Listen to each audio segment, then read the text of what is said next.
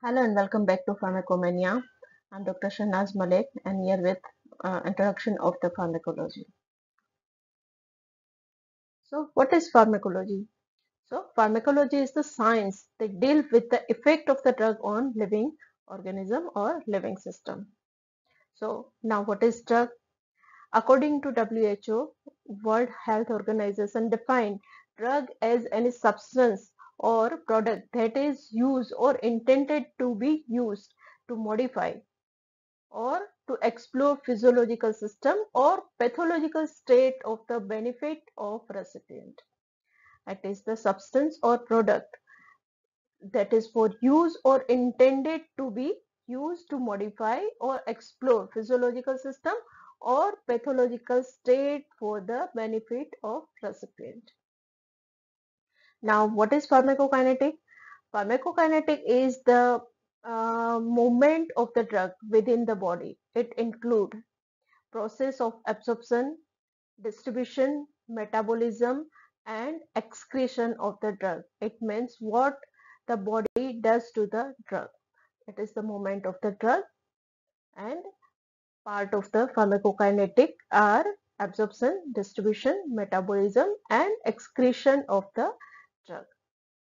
Now let's say about the various category of the drug. First is the over-the-counter drug which are sold on the uh, counter of the medical store. These, these drugs are uh, like uh, paracetamol or antacid which doesn't require any kind of the doctor's prescription. Other is the prescription drug which required registered medical practitioner's prescription and these drugs are antibiotic and antipsychotic drugs. Now Drug nomenclature. What is drug nomenclature? Any drug having three kind of the name. First is the chemical name, non-proprietary name or the generic name and third one is the proprietary name or brand name. So first is the chemical. It denotes the chemical structure of the drug like acetyl salicylic acid is the chemical name of the aspirin and, and acetyl cysteine acetyl p aminophenol is the paracetamol. It is not suitable for use in the prescription. Now, non-proprietary name. What is non-proprietary name? So, it is assigned by competent scientific body or authority, the United States Adopted Name, USAN Council. And WHO along with its member council select the and recommended the international non-proprietary name or INN for a drug. And it is uniform throughout the world and denote the active pharmaceutical ingredient.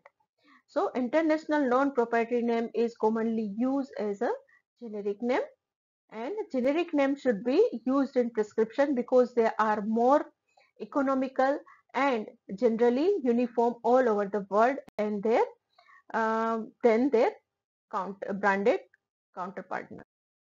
Now proprietary name or brand name, it is given by drug manufacturer and brand name are short and easy to recall and drugs sold under brand name are expensive as compared to their generic uh, generic version of the drug.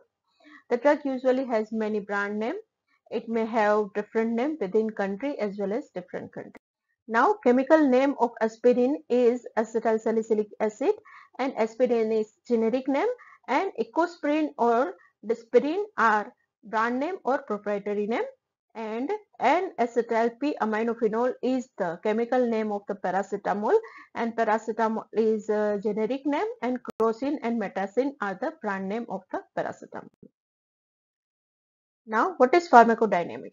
It is study of drug uh, mechanism of action, pharmacological action and their adverse effect. It cover all aspects related to what the drug does to the body what the drug does to the body. Now, what is pharmacy?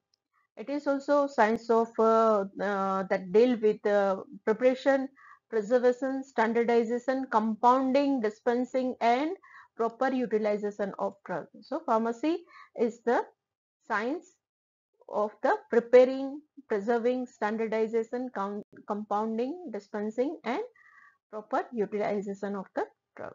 Now, what is therapeutics? Therapeutics is the aspect of medicine concerned with the treatment of the disease. And what is chemotherapy? it deals with the treatment of infectious disease or cancer with chemical compound that causes relative selective damage to the infecting organism or cancer cell. Now what is toxicity? It is the study of poison, their action, detection, prevention and treatment of poisoning. And uh, clinical pharmacology is the systemic study of the drug in human being both in healthy, healthy volunteer as well as patients. It includes the evaluation of pharmacokinetic and pharmacodynamic data, safety, efficacy, and adverse effect of the drug by comparing, comparing clinical trials. What is essential medicine? According to WHO, essential medicine are those that satisfy the health care uh, need of the majority of the population they should be assured quality, availability at all time in adequate quantity and in appropriate dosage form. They should be selected about disease prevalence in the country, evidence on safety and efficacy, and comparative cost effectiveness. Now example of the essential medicine are iron and folic acid preparation for the anemia of in the pregnancy. So iron and folic acid should be available all the time. Should it should be available in adequate quantity, appropriate dosage form, and uh, it should be available all the time. Now, antitubercular drug uh, like isoniazid, rifampicin, pyrazinamide, and ethambutol it's also um, included in essential drug list. Now, orphan drug. Uh, these are the drugs for the use for the diagnosis, treatment, and prevention of the rare diseases. And the expenses of this uh, drug development, manufacture, and marketing is not cannot be recovered by the pharmaceutical company for from the selling of the drug. Examples are digoxin antibodies for digoxin toxicity and fomepizole used in the methyl alcohol poisoning. So uh, these drugs are the orphan drug and uh, they are not easily accessed in the market. Now sources of drug information. Pharmacopoeia is the book that contains list of the established or officially approved uh, drug and uh, description of this uh, their physical and chemical characteristic and taste for their identification purification and method of storage.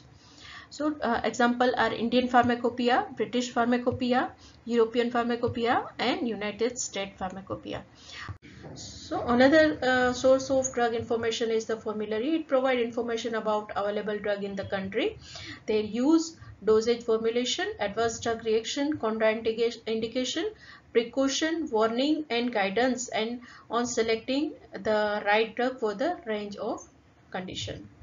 And other sources of information are uh, like national formularies, Martindale, physician desk reference, etc. Uh, now sources of drugs they are uh, natural, semi-synthetic and synthetic. Natural sources are plant, animal, mineral and microorganism and semi-synthetic drugs are obtained from the natural sources and later on chemically modified. And synthetic drugs are produced artificially. Source of the drug natural source from the plant. So alkaloids are nitrogen containing compound example are morphine atropine quinine reserpine and ephedrine are alkaloid. Glycoside containing a sugar group in combination with non-sugar through interlink with ether linkage and uh, example are digoxin and digitoxin. Now uh, next is the volatile oil have aroma like um, uh, eucalyptus oil uh, clove oil and uh, flavoring agent like peppermint oil and resin are sticky organic uh, compound obtained from the exudate. It is uh, tincture benzoin. benzoin. Now, insulin, heparin and antisera are from the animal source. Uh, ferrous sulfate, magnesium sulfate are available in the mineral and penicillin G, streptomycin, griseofulvin are source of the microorganism. Semisynthetic are uh, hydromorphone and hydrocodone synthetic compound most of the drug used today are synthetic like aspirin and paracetamol Drugs are also produced by genetic engineering like DNA recombinant technique. Examples are human insulin, uh, human growth hormone and um, vaccines. Thank you for watching the video.